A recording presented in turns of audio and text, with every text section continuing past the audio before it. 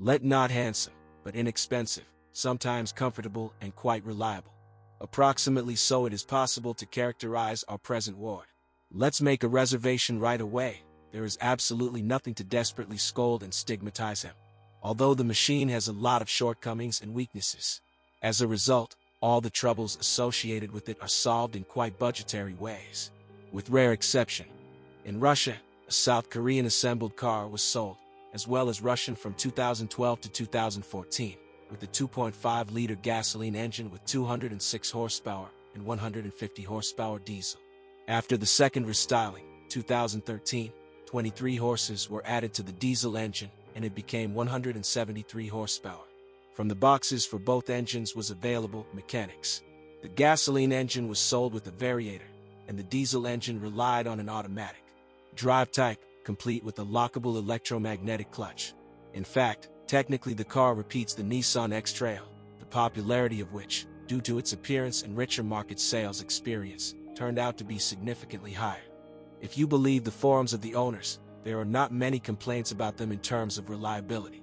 Indeed, dynamics can hardly be named among the virtues of this model. The gasoline unit, it is of a rather old design, is rightly accused of high fuel consumption especially in the city.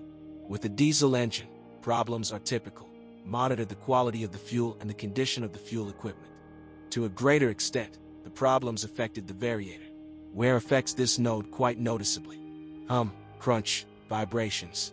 However, a regular, every 60,000 kilometers, oil change and maintenance of its cooling radiator pushed the problem a considerable distance. Sometimes flashing helps, the variator quickly gives up after sharp starts from a traffic light and long slips on the road. With the mechanics, or the machine, there are no characteristic and typical problems. Failures can occur mainly based on the manner of operation of a particular owner. Roughly the same words can be said about the transmission. Koleos is not an SUV, so do not abuse the clutch lock. In difficult conditions, it tends to overheat and then it becomes impossible to control it but really a mass misfortune for almost everyone can be considered a failure of the cardan shaft. This is after 100,000 kilometers of run. Replacing the assembly will require a couple of tens of thousands of rubles.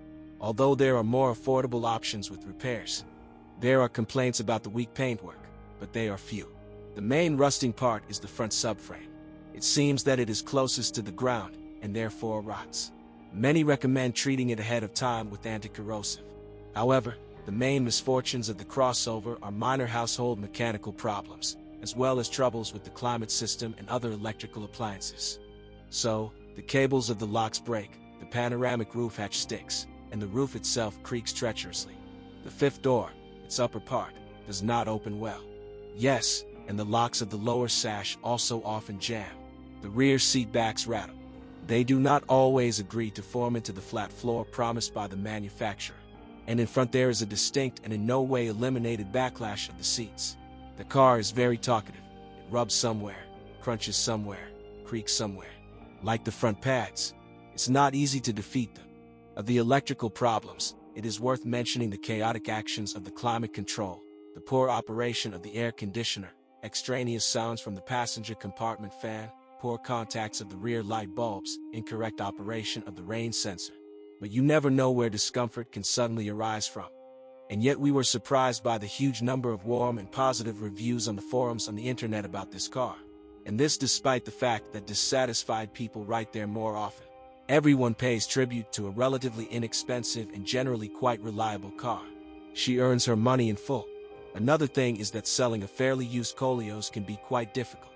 This is also recognized by almost everyone. Suspension.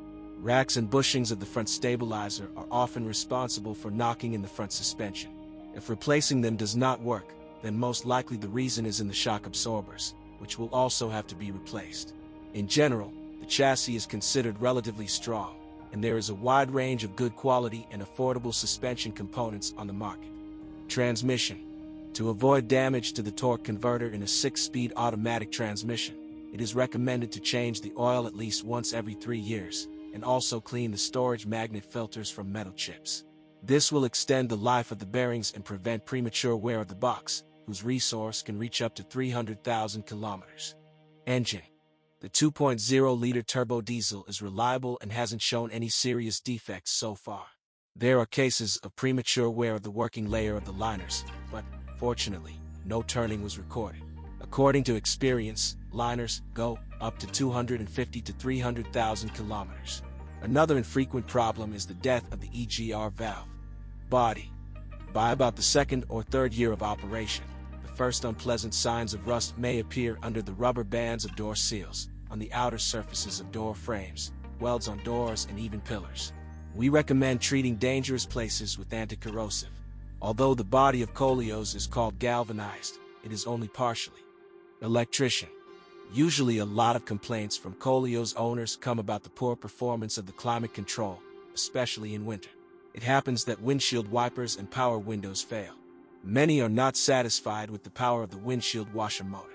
The failure of the electric trunk lock is also not uncommon. Everything in bits.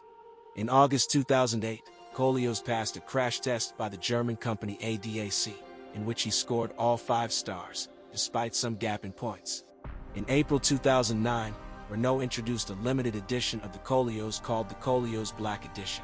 Renault it featured improved dynamics, trim, and improved options. This limited edition is only available in black and gray. In the UK, the crossover sold very poorly, so it was withdrawn from sales there in August 2010, with a total number of sales of 2,600 copies. In 2011, restyling was carried out. In 2013, the second restyling. In the South Korean market, it was sold as the Renault Samsung QM5 and was produced there as well. The QM5 had the same engines as the Koleos. Production began at the end of 2007. Production of the first generation in Europe stopped in March 2015. Restylings. In 2011, the design of the car has undergone a restyling. The main changes affected the design of the front of the body, but the interior has also undergone changes. The cabin has Bluetooth, DVD navigation. After 2011, the car was named Phase 2.